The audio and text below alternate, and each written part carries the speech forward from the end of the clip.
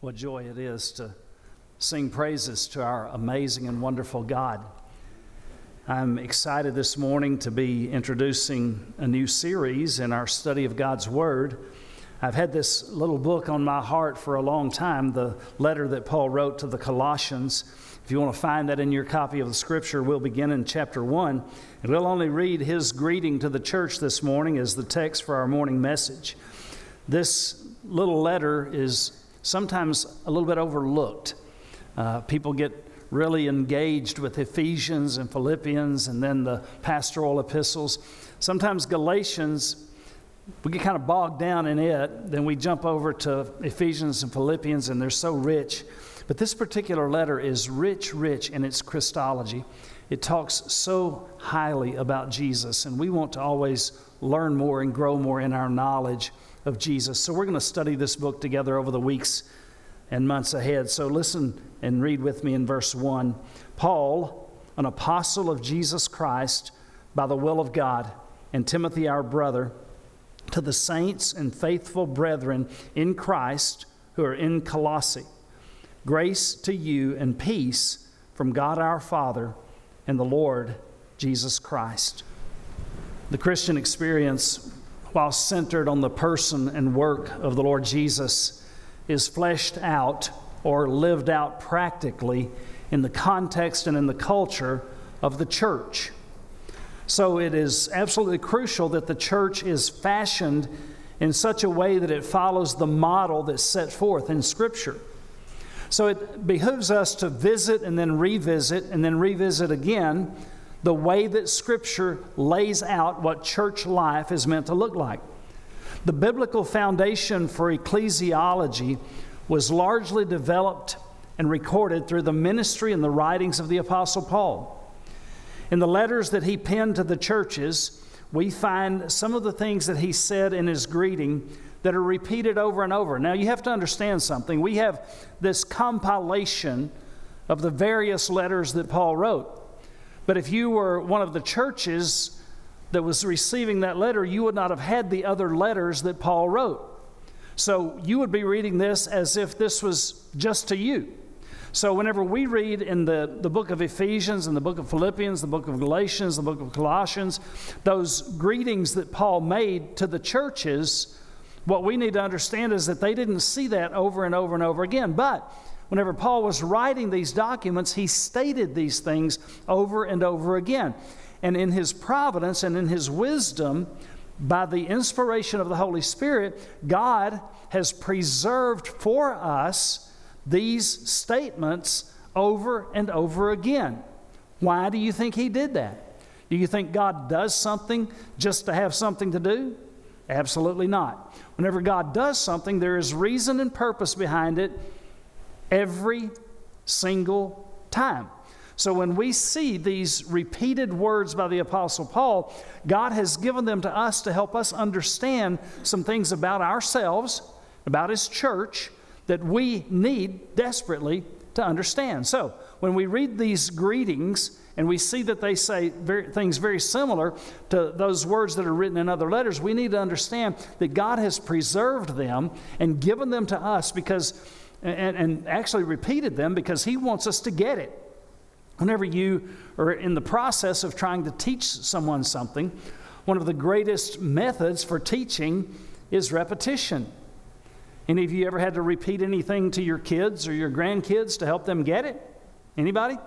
No? Yes? Everybody has. Because that's the way we teach. We repeat things over and over. So God is trying to teach us something about himself and about ourselves through these words of repetition that we see over and over again. He wanted the church to become aware of the truth of the things that are spoken in these introductory comments to these letters. And so these comments will guide our thinking during the message this morning that is entitled The Church as It Should Be. So we're going to call this basically an introduction to life in the early church. The early church, from, from the book of Acts forward, models for us what healthy church life is meant to look like. And, and everybody would want to have a healthy church life. So whenever Paul writes, he says these words Paul, an apostle of Jesus Christ by the will of God, and Timothy, our brother. Now, whenever he writes these words in that verse, he actually is beginning by giving them some thoughts and some ways to understand God's established leadership within the body of Christ. He, his statement of personal introduction includes some very important designations. He begins by identifying himself as an apostle of Jesus Christ. An apostle. That word, in and of itself, designates an element of authority, an element of leadership that God has assigned. And so, whenever you begin to read about the early church, you can read about the various apostles. And the word apostle is a word that literally means one sent under the authority of another. And so, whenever Paul writes these words, he's saying, I am an apostle. I am someone that has been sent to you. I'm someone that has been sent on behalf of someone else. So I'm here to share something with you that someone has sent me to share. And so Paul is explaining to them his role, his designation as an apostle. And he says, I am an apostle of Christ Jesus. So, in other words, my, the origin of my ministry, the origin of my work, it stems from the person of Christ Himself. Now, not everybody was able to say that.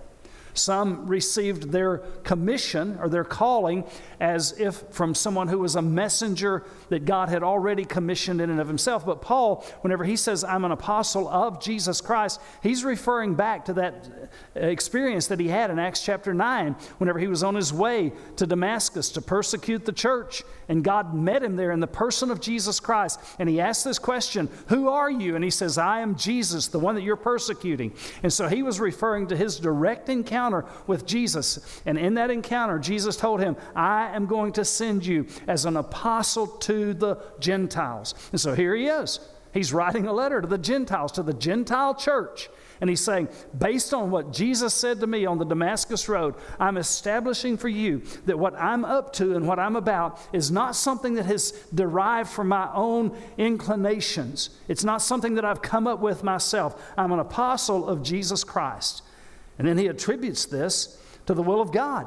He says, This is what God has intended. This is God's intention. It is God's intention that I submit this letter to you as someone who is under the authority of Christ and, and, and as, a, as a leader in the church to bring this information to you that you're about to receive. So, Paul is declaring that he has, is one who has been divinely summoned and commissioned and called invested with authority, an authority that is not of himself and not from any other human being, but from God through the personal encounter that he had with the Lord Jesus Christ. Now, this call upon his life imparts two things. It, it, it, sends a message that there are two things that, that they need to understand. The first one is this He's saying to them that because Christ has called and commissioned me, I have the right to address the church.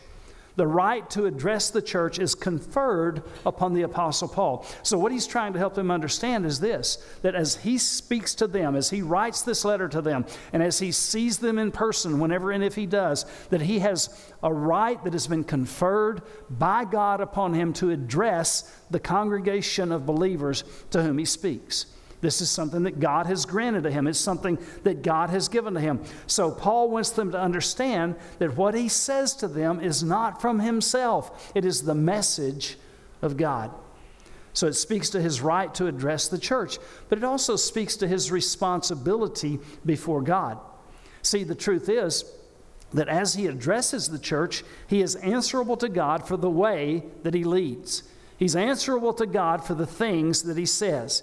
He's answerable to God for the words that he shares. He's answerable to God for the recommendations that he makes to them. So as he begins to write these words, as he begins to pen these words, he's doing this with a sense that God has commissioned him to do so, but also that he is accountable before God for everything that he's going to put down and send to them in order for them to read and try to understand things about the church and things about the Christ of the church and things about the practical mission of the church. So he, he's establishing for them that all of this is derived not from something that's in himself, that this is something that God has called him to do. And this is something that God has commissioned him to do. And it's something that he will answer to God for as he makes his way into this ministry. I want you to know that that's heavy. That is a heavy thing. To, to believe in your heart that God has called you to have any responsibility in the body of Christ is weighty. And it's important for us not to trivialize the call of God. Whenever He challenges us and calls us up to step up and to serve within the body of Christ, it's, it's important for us not to be dismissive about that. It's important for us to be open to what God wants to do. And it's a heavy thing to say yes to that. But I want to tell you this whenever God puts his hand upon the life of someone to be a minister, a, a, pastor, a leader at that capacity, the weight becomes very heavy. Because we know that we stand before God and we answer for everything that we say, for every suggestion that we make, for every recommendation, for every direction that we point, everything that we do, we know we stand before God. That's a heavy thing. And Paul knows that. Paul recognizes the weight of the call of Christ upon his life as an apostle. And so he wants them to understand that he knows who he is and he knows what he's, what he's taken up whenever he's accepted and received this call. The role of leadership and the goal of leadership must balance. The role of leadership is one that is given by God and the goal of leadership is always to seek the heart of God and to deliver the message of God and to, pr- pr- to point the way that God is leading. And so the role and the goal must balance out. And both are strictly under divine oversight every single time. So Paul begins his letter to the Colossians with, by telling them some things about leadership in the church that he thinks are important for them to know. Well, he moves, he moves immediately from that into sharing with them some traits of the church family. And there are five that are mentioned here. He begins there in verse 2. He says, To the saints and faithful brethren in Christ who are in Colossae, grace to you and peace from God our Father and the Lord Jesus Christ. Traits of the church family. Very important for us to know. The first one that he mentions is the word saints. He's not talking about a football team, he's talking about the church. He's saying that, that those who are part of the church, those who are believers within the body of Christ, those who have responded to the call of Christ upon their life and said yes to Jesus as their Lord and Savior and surrendered their lives and submitted themselves to His Lordship and received the grace of God by belief and trust in His name, He says, You have a new designation now. Not only is there a new name written down in glory, but there's a new designation attached to those who've done this. He says, You're called saints. Now, most people that hear this, they say, Well, I don't feel very much like a saint. Because we attribute the idea of perfection to that. We, we think that if someone is a saint, like Saint Matthew, Saint Mark, Saint Luke, Saint John, that, that, that, that, that attributes to them some element of perfection. Well, I can absolutely assure you that if any one of those guys was standing before you this morning, he would be very old. Y'all didn't see what I did there, did you? If one of those guys was standing before you and you said, This is a saint, he's perfect, they would say, Absolutely not. You better believe I'm not perfect. You better believe that I am flawed, I am human, just like everybody else. So, whenever we use that term saint, whenever God uses that word to identify believers, He's not talking about perfection. The word literally refers to being holy in the sense of being set apart. The church is set apart, it's different. It, it means peculiar. It means that you're part of a different society than those who are not believers. You're part of a different group. You're of a different mindset. You're of a different sect, a different segment. You're, you're, marked as part of a higher society, if you will, with higher and different values. You have different standards. You don't bend to the secular pressures that would disfigure our resemblance to our Savior. And, and, so it's not, some, it's, it's not saying that we're elitist in any sense of the word. It's not saying that we're better than others. It's not saying that we have a right to be judgmental or unkind or even exclusive.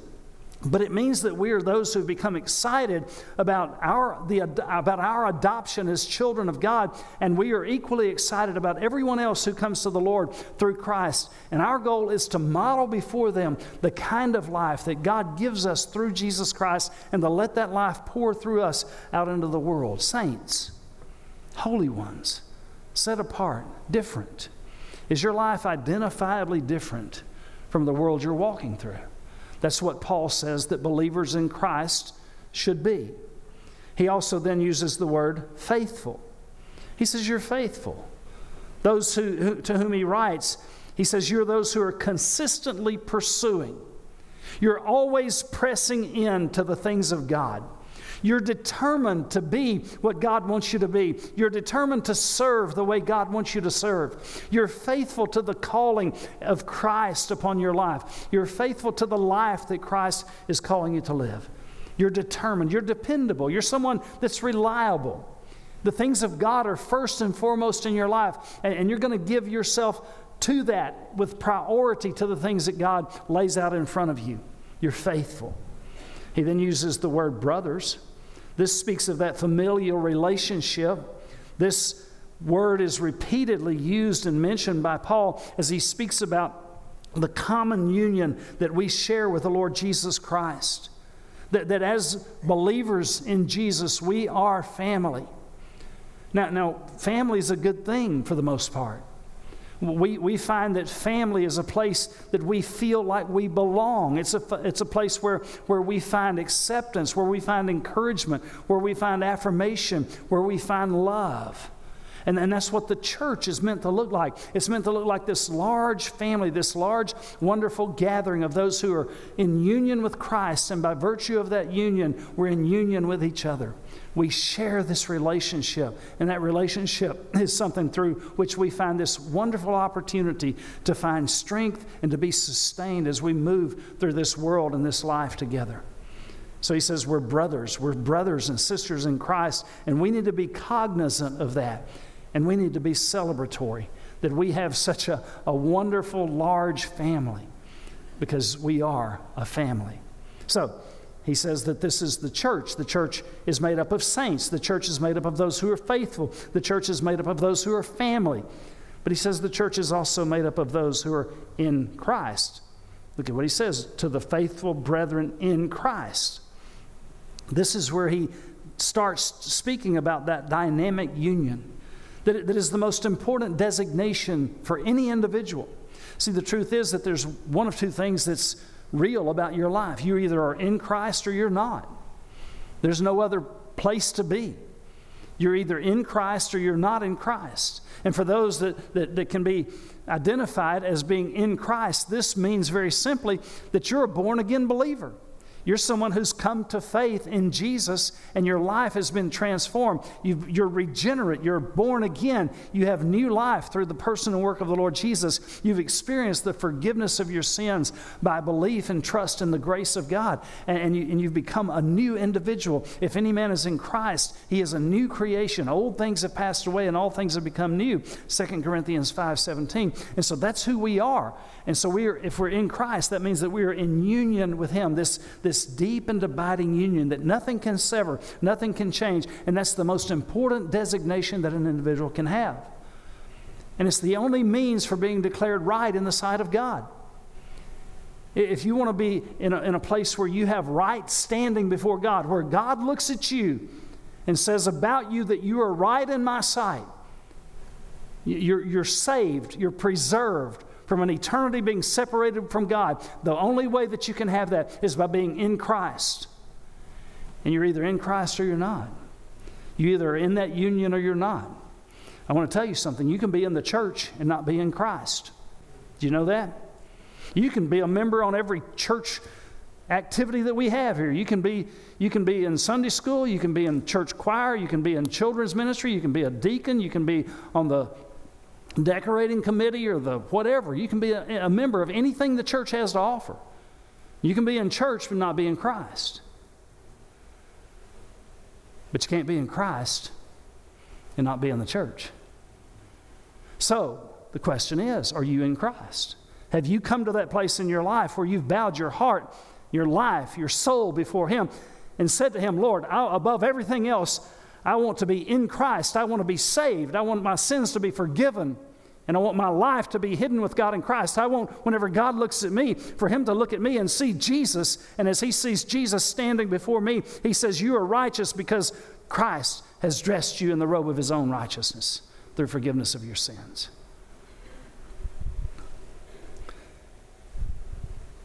You're in Christ. That's what He says to the church. So He says, You're saints, you're faithful, you're brothers and sisters in Christ, you're in Christ. And he also says you're in Colossae. Now, this was a place. Colossae was a place. And here, Christianity in that city would find one of its most severe challenges. This was a large city and it was an old city. And in this city, there were a lot of false teachers.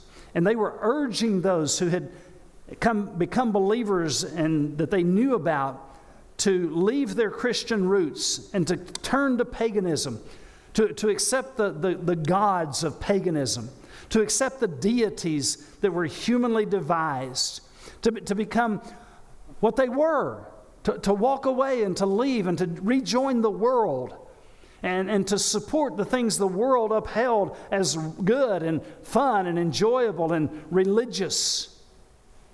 And have you ever had that kind of enticement in your life as a believer? See, the truth is that every level of Christianity is lived out in some context. The context for our Christianity is we're in Sherman, Texas, or somewhere nearby. Just like the saints of old were in Colossae, we're in this area. This is our context. And we need to understand our context. Now, Unlike some places in the earth, we don't have idols situated in the streets where people walk by and bow down to these idols in the streets and worship. Uh, we don't live in a place where you can't you can't uh, butcher a beef because it may be your grandfather. Thank God for that. We don't have to deal with those kinds of things here. That's not our context. I've been to that context and it is bizarre. It's, it's, it's, it's just so uh, unsettling to me to think about that. And, and, and there, whenever we would talk to people about Jesus, there would be some who would say, No, I can't.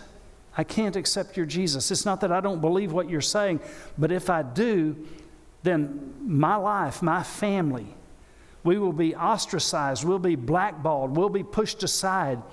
Uh, we'll be no longer received in the, the culture of our world.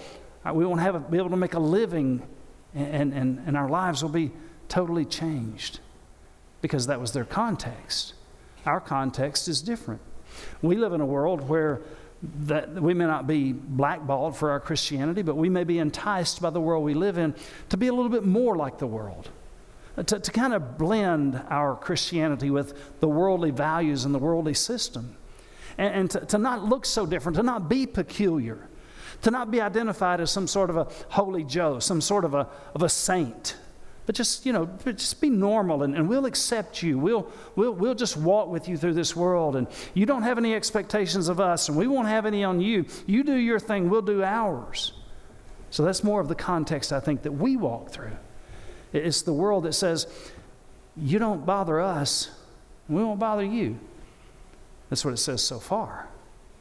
That could change very easily.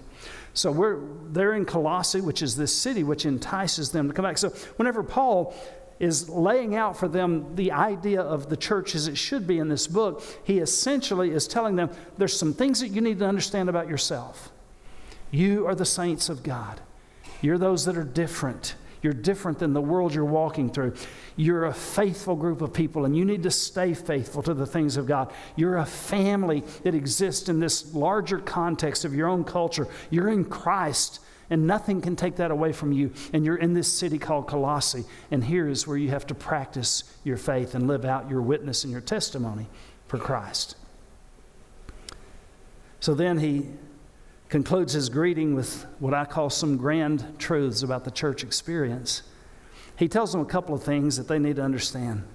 In the last part of verse 2, he says this grace to you and peace from God our Father and the Lord Jesus Christ. First thing he says to them is this as those who are saints, faithful brethren in Christ in Colossae, you are recipients of the grace of the amazing God. Grace to you. He is reminding them that the basis of their new life in Christ is the grace of God. That this was not something that they worked their way into. This was not something that they, that they were able to concoct and devise and develop on their own. But God, in His grace, with His great love with which He loved us, extended to us the opportunity to receive full pardon, free pardon, full forgiveness, free forgiveness for our sin, and to be made right in His sight, not by virtue of anything that we have done. He writes later, He says, not by works of righteousness that you've done, but according to His mercy, He saved us. And so we understand that it is by God's grace. And I want to tell you what that does. If you, if you get any sense of what that is, that brings humility. That brings us to a place where we understand that there's nothing that we are in Jesus that is deserved by us. But it's all because He loved us so much, and cared so much, and wanted to share eternity with us so much that He extended forgiveness at the cost of the life of His own Son, Jesus. Grace, the basis of our new life in Christ, and the wellspring of the life that continues to flow in us, that never ending supply of the generous life of Christ that flows in us. It is inexhaustible and it is wonderful. So he says, You're recipients of the grace of God. He also says, You're able to live at peace with God. See, the fact is, and we talked about this in our Sunday school class, that, that Scripture says that before we came into a relationship with God where we, forgiven, where, where we are forgiven of our sins, that we are at enmity with God. And Scripture says that He overcame that enmity. He made peace with God for us and reconciled us by the blood of His cross.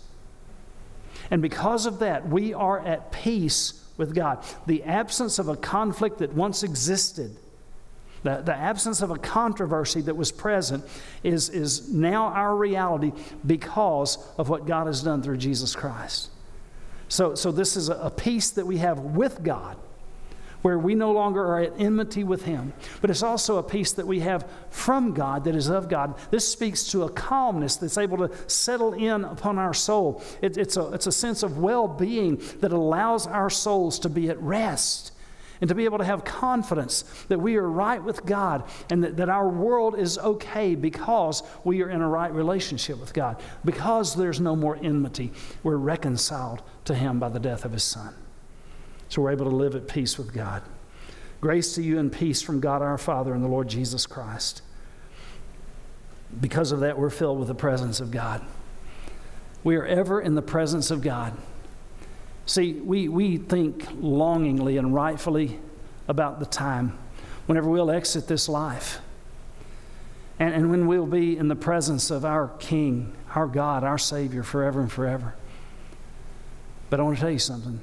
If you're a believer, you're in His presence right now, and His presence is in you right now. It's called the Holy Spirit. The person of the Holy Spirit takes up residence in our lives, and He dwells within us and He preserves and protects us, and He extends the peace of God to us, and He encourages us, and He strengthens us, and He comforts us, and He is the presence of God in our lives. And so we are able to understand that because of Jesus, we are filled with the very presence of God. We are ever in His presence, and His presence is ever filling us. Oh, yes, it'll be better when we leave all the troubles and the trials and the challenges and the brokenness of this fallen world behind, and we don't have to look out on that anymore. We only see the beauty and the perfection of the eternity He's created for us, but He's still with us. Jesus said, I have said to you, I will never leave you, and I'll never forsake you. Our God walks with us every step of the journey. He's with us now.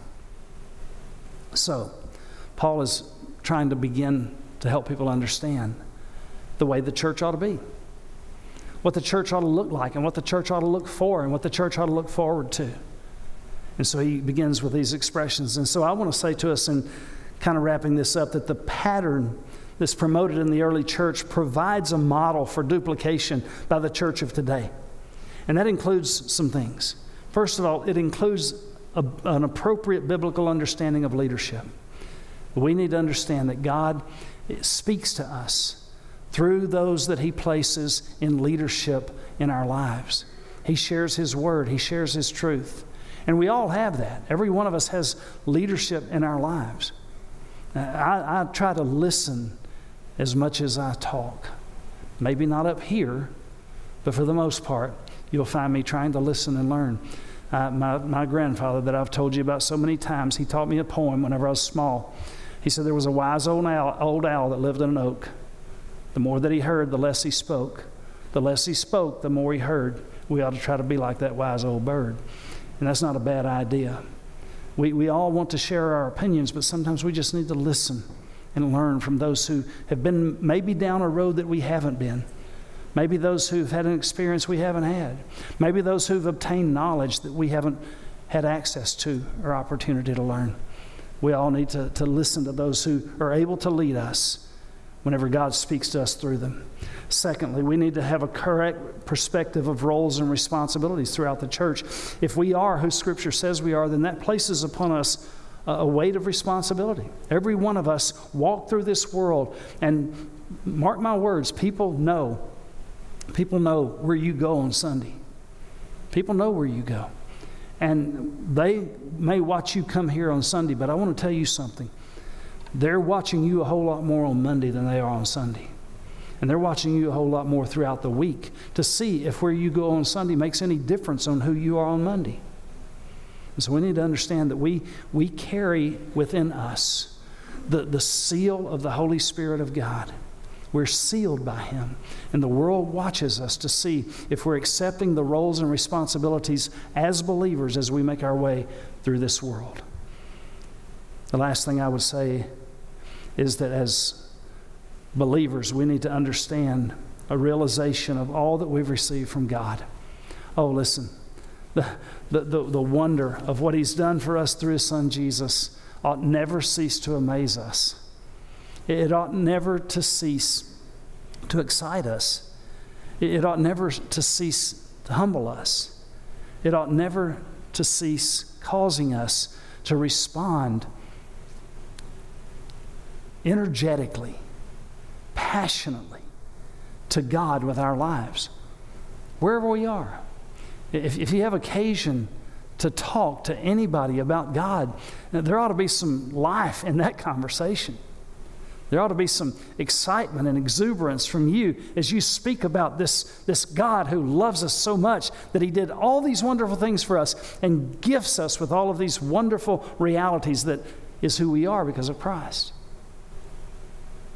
Whenever we come to the house of God and, and we begin to, to meet together to experience the dynamic of family gathering, there ought to be some life in that. There ought to be some joy in that. There ought to be some celebration in that. There ought to be some exuberance in that. We ought to be able to find ourselves giving glory to God with excitement, and because He's praiseworthy. He's worthy of us reaching down inside of ourselves and being awakened in our soul and in our spirit to give Him honor and glory that He deserves. This is who you are if you're the church. It's who you are. Now, the question is are you part of the church? Are you in Christ?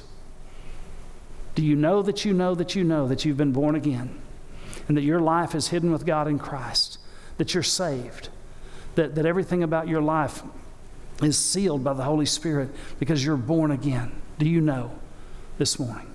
If not, I want you to know that God has a place for you.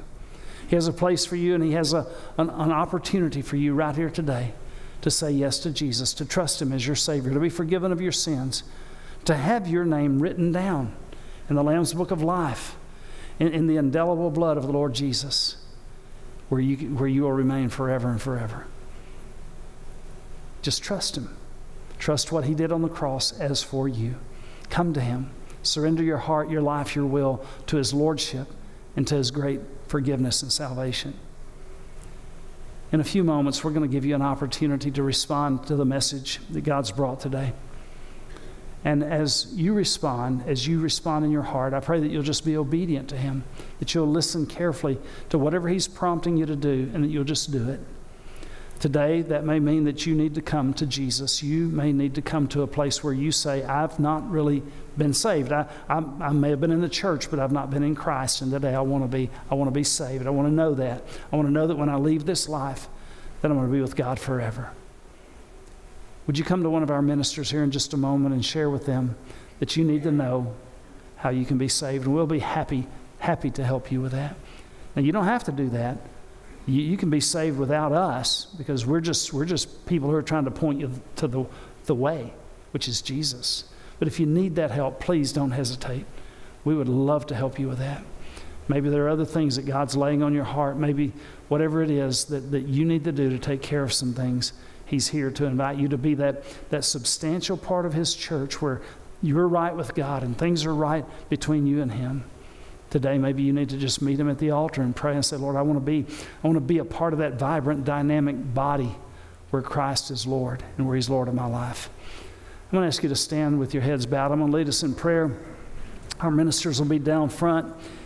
And after I pray, there will be some music playing just for a few minutes. And as that happens, if you need to come, if you need to come today to, to inquire about what it means to know Jesus or what it means to be a part of this church or any other thing that God is, is, is working in your heart about, please know that we're here to help. Lord, I ask you today, would you speak to us now? Would you please speak to us? Would you, would you make us aware of exactly what you're saying in our own hearts? And Lord, if there's anybody here today that has not yet said yes to Jesus. I pray that in these very moments that their heart will be awakened and stirred, that they will come to Jesus right here, right now. And if there are other decisions that need to be made or other questions that need to be answered, please, please help us not to be timid. Help us not to wait, just simply to come as we wait before you now. In Jesus' name. You come as we wait. You come as God speaks to you.